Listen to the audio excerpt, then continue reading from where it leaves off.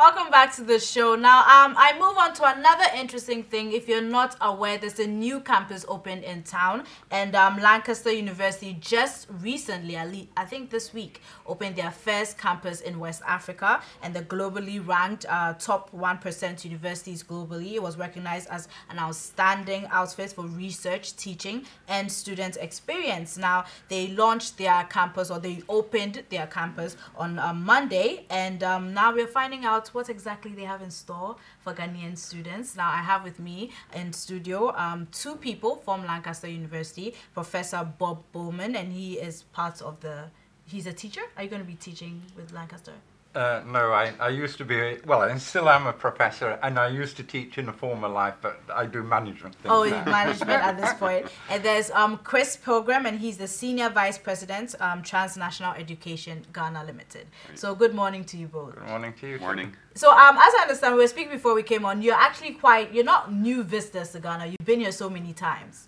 Uh, yes, well, we uh, Lancaster's in partnership with um, TNE, so Lancaster provides all the uh, curriculum and the academic management, TNE, mm-hmm. our partners and very good partners to mm-hmm. Lancaster, provide all the infrastructure and the capital. and so we've both been coming to uh, Ghana on quite a number of occasions once we'd selected Ghana yes. as the chosen location. Because I was going to uh, ask, how many university. countries did you have in mind when you were selecting a campus for West Africa?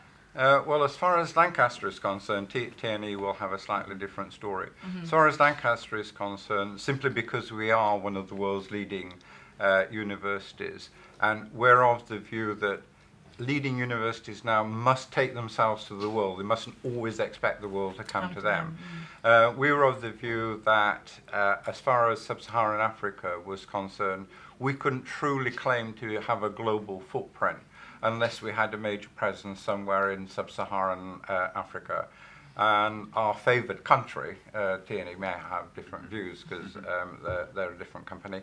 Uh, our favoured uh, country, by quite a long chalk, I would say, was Ghana. Was so Ghana. Uh, we really wanted to be in Ghana. So Ga- that's Ghana good news for you. You're welcome at this point. Yeah. Yes, I know. I probably said the right thing to you. so, um, Chris, yeah. um, um, Professor Bowman was saying Ghana yeah. was a favorite choice, but yeah. what about TNE? Well, and I would agree with with uh, um, Bob entirely. Mm-hmm. Um, our organization uh, first entered into higher education in Dubai in mm-hmm. partnership with oh. an Australian university. But other than that, we have a, a strong presence in sub-Saharan Africa already. Mm-hmm. Uh, we, we have offices in Johannesburg and, and we run from there uh, Forbes Africa and CNBC Africa. Oh, okay.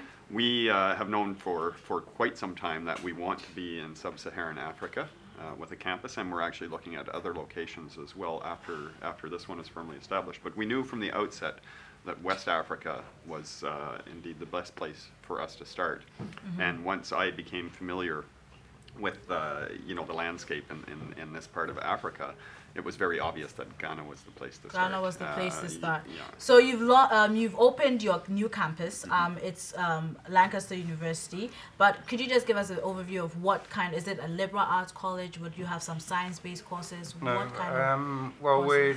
Uh, I mean, it, it, takes quite some time to build up a world-class university, and particularly to build up the reputation uh, of a world-class university. But that's the vision for mm-hmm. Lancaster University, um, uh, Ghana.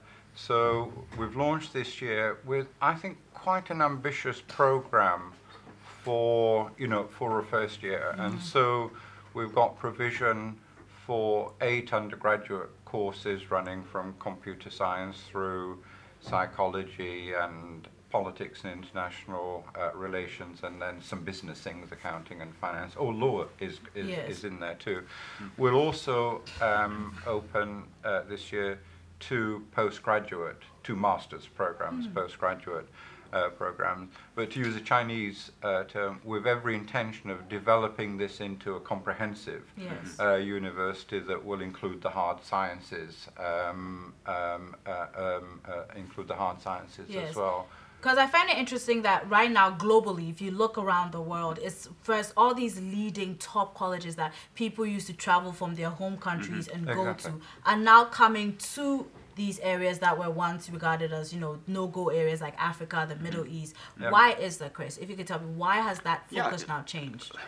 Well, look, it's, it's very simple for us, and, and uh, I think Bob had explained that uh, as part of their global strategy, it made sense for them, of course, in fact, to be here. In fact, you couldn't claim to be global unless you were here. And I think that's a very progressive move on the part of the university. Um, for us, there's a very simple proposition for the students. Uh, they can receive the same degree they would receive if they were to fly to Lancaster. Uh, uh, they can receive it here in Ghana, but at a much lower uh, cost to them. Uh, so what we're really doing is providing the already in, in sub-Saharan Africa there are 300,000 students that leave the country every year and study in another country. Yes.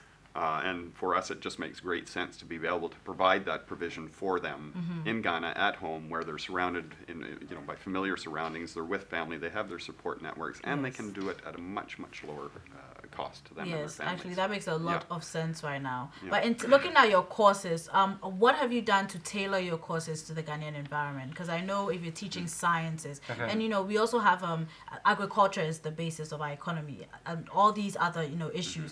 Are you tailoring it to fit with the Uh, students' uh, mindset? relatively little would be the answer to that, and very deliberately. Uh, so, so uh, I know it sounds awfully modest, but Lancaster truly is one of the world's leading uh, universities, and we cannot conceivably afford to allow our curriculum or our uh, assessment or our standards or our methods of teaching to be undermined at all. And so when Lancaster's gone overseas, it hasn't gone overseas with the view, oh, there's a degree you can get in Lancaster. And then there's a kind of a second class degree you can get, which is Lancaster University uh, um, overseas. Oh, and okay. so, so um, the, the, the, the curriculum that the students would follow here, the means of assessment, the use of external examiners, the teaching styles, they're all identical to what the students would have received in England. And so it's crucial to us that they, the students get exactly the same degree certificate that they would have got. And, and that's what's going to be useful to them when they go on the job market. okay. Uh, so employers will know they've got you know a degree certificate from one of the world's leading universities, and it's the only degree certificate that university um, um, offers. So th- there's been there's no compromise whatsoever on the on But the in terms of area. you know just tweaking the curriculum a little bit to suit students in Ghana, because I, I do understand the importance of giving them that world class education here that makes their degree you know competitive Well- everywhere else. Well, the, the, I, I wouldn't call it a tweak Mm-hmm. um, exactly. The one change we have made is that if, if students were to come to England Mm-hmm. to, to do a degree program, we'd require A level uh, entry for that, and it's a three year program. Mm-hmm. What we're doing uh, here um, uh, with uh, TNE, it first the first year Mm-hmm. is a foundation year, and so you know the students learn study skills and they can catch up on some areas and you know brush up the maths and this sort of um, uh, thing, and then at the start of the second year, of their second year, they would enter then the first year of the three-year Lancaster degree program. So there's this preparatory year, we call it a foundation Okay. um, uh, uh, year. okay. And Bob, if I just could add to that, um, and it's very important, and, and Bob said it very clearly, the, the curriculum is identical to the, the outcomes that need to be achieved are identical to uh, those of the home campus. However, there is opportunity for, for us as a group to, uh, to become familiar and build relationships with industry and government organizations and non-government organizations and uh, provide students with opportunity for Yes. potentially summer internships. So there, there's definitely a Ghanaian relevance Yes. in, in that regard. Uh, we uh, recognize and have, have um, you know, understood that sometimes there is a disconnect between what employers are looking for and, Yes. and what uh, the skills that students have. And so we want to work very hard on, on uh, trying to, to bridge that gap if we can, but, but in ways that are outside of the curriculum. Mm-hmm. Because I feel like, especially students, the 300,000 students you mentioned that do travel and Yeah. come back, mm-hmm. they want to contribute to so- their societies, but Yeah. they find that the education they got in the West and in Yeah. more advanced societies, when they come here, applying it sometimes, is, mm-hmm. there's s- some challenges Yeah. because the situation, their environment has changed.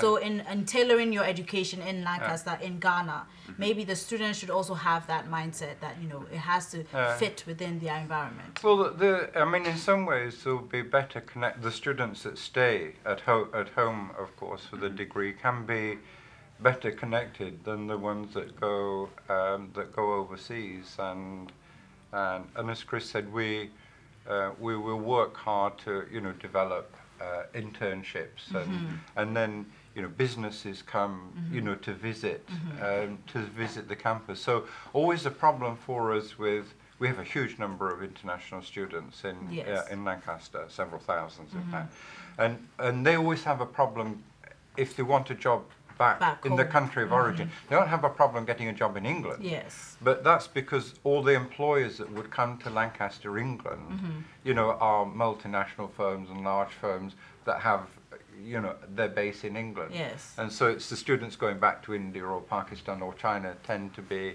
it, it, it's harder for them, and it's a problem we're working on. But Yeah. the students in Accra Yeah. won't, won't have that problem. Yeah, they're, of course not. They're in the right water already. Yes, they are. So um, we Yeah. know you recently opened up uh, campus, but um, if I may ask, when's the first day of class? When do you plan to start the program? It, it's uh, it started. In fact, the we, we had a formal uh, Okay. inauguration, Oh. cutting of ribbons and all this sort of um, birthday cakes and all this sort of thing uh, on Monday. But the classes started at the beginning of October, so Oh. we've had the first small intake, Yes. and then there'll be another intake into the foundation year in January.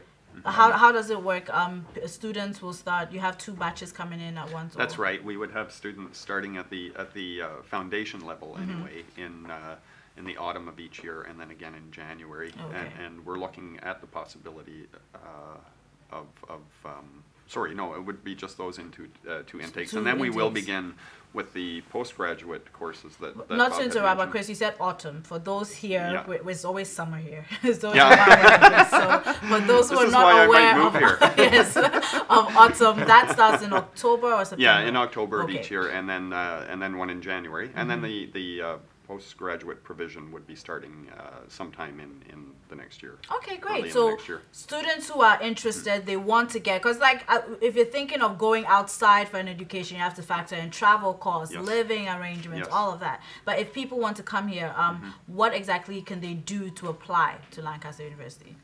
What to apply to Lancaster University In Accra. In in, in, Accra. Well, there's um, um, there's an admissions uh, office. Yeah. You'll know more Yeah, about absolutely. this. It's- it's just a I matter do. of Chris is contacting the us. man to talk to. Listen, uh, we, we have a web presence, uh, so certainly visit us there. Um, our campus is in East Legon Mm-hmm. on Jungle Road, and we would uh, more than welcome uh, um, anyone to visit at any time. We have admissions representatives who are, are basically there waiting for uh, you know you to come in the door, and they'll show you the Lancaster way, or to uh, contact us by email or Mm-hmm. by phone. Yes, because if anything, I, I would admit that I was trained abroad, and one thing that I mm-hmm. felt was very beneficial was career counseling, Yes. which Yeah. I feel like some local, Yeah. you know, institutions Yeah. may not have necessarily. So I feel like whenever I hear of a global institution coming in, mm-hmm. it's Yeah. really important to have that mm-hmm. career counseling because we also do have this problem of unemployment. Yes. because we have a lot of graduates coming out of school and they don't exactly know how to apply their degree because industry is just one particular way. So how would you be also tailoring your students to, Look, uh, you know, Success for us is, is really a direct function of success of the student Yes. or success of the graduate. And that means meaningful employment after university. And so we recognize the importance of that. We have, uh, of course, in the in the early early stages, uh, we don't yet have a career services uh, function or department, but we have every intention of building that in such that um, they're there to work with students long before they graduate uh, to help them with exactly what you're talking about, having uh, you know the proper techniques and skills for searching for jobs. But more importantly, and I mentioned it earlier, is the ties that we will form with industry or with governments or with other agencies. Um, we'll work very hard with them so that they understand the qualities Yes. uh, and, and uh, characteristics of the students that we will be graduating. So Yes. yes, we recognize that as being uh, integral to our success. And I think bringing out global, you know, minded students will also Yes. get Yeah. industry on their toes. Because if you have a certain class of graduate Mm-hmm. coming out there, you have to give them the job they also deserve or match Mm-hmm. up with. But um, I also wanted to find out when you say affordable, that's what Yes. I'm like. Yeah. Affordable for Lancaster University in Accra. Are you looking Yeah. at a package where people can also get scholarship? Is there aid options for students? Uh, well, there, there certainly are uh, scholarships. Um, one of the things that would uh, unite students across the world, as you probably know, is everybody wants uh, a scholarship, Yes. and then, of course, we'd, we'd all be bankrupt and we wouldn't be able to pay our, our rent and pay our, um, pay our teachers.